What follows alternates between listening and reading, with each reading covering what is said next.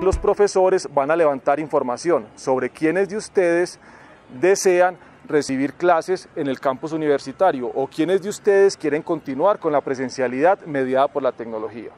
Una vez tengamos levantada esta información, podremos informarles a ustedes en qué horarios y qué clases podrán recibir en el campus universitario, siempre y cuando no sobrepasemos el aforo institucional para poder seguir cumpliendo con la normatividad.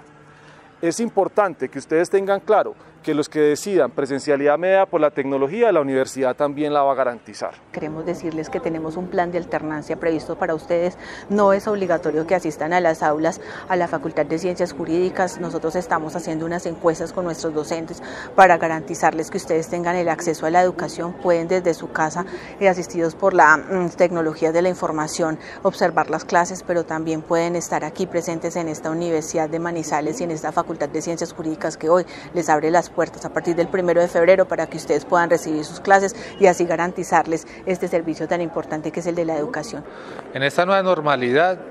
hemos diseñado para este semestre eh, unas clases eh, mediadas por tecnologías de la información,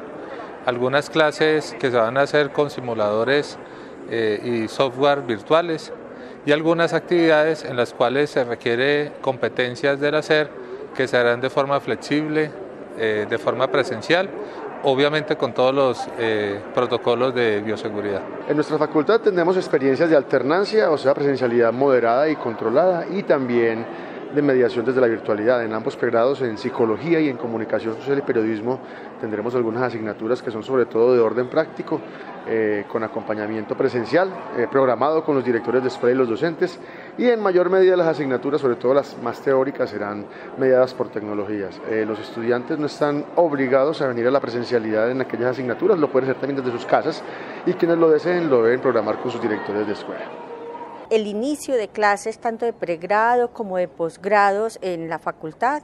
tiene una estrategia de trabajo en modalidad la modalidad presencial con alternancia, la virtual sigue como está establecida en la facultad y en la universidad, particularmente para los presenciales, eh, atendiendo a los requerimientos que el gobierno nos ha dado y a los protocolos de seguridad. Se tienen establecidos unos cupos por salones, previo a ello los profesores convocan a los estudiantes que quieran venir a la clase presencial y se establecen los protocolos para la venida.